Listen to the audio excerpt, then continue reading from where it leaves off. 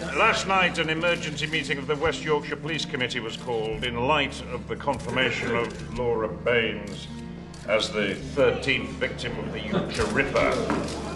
I would like to announce a number of internal operational changes. Resign! As of today, Detective Chief Superintendent Maurice Jobson will have sole responsibility for the hunt for this man. Would you care to clarify allegations that valuable time has already been lost on this investigation? Laura Baines got reported missing as early as I'm not taking questions on this at this point. Or would you comment on rumours that she bled to death while Officer Spoger is responsible for the cause from her flatmates?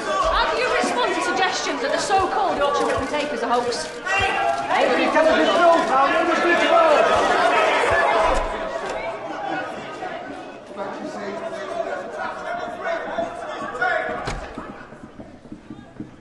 Bunch of fucking bastards! Bloody shambles.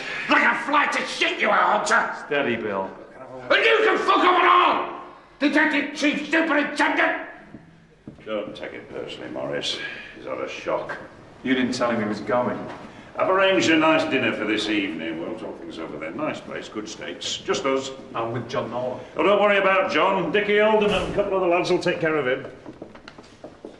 Harold Angus of West Yorkshire announced that a brains trust of senior detectives have been drafted in to assist in the hunt for the Yorkshire Ripper. This super squad will Don't waste any time, do they? Peter Hunter and Sorry, there's no red carpet. Didn't expect one. That's lucky then, isn't it?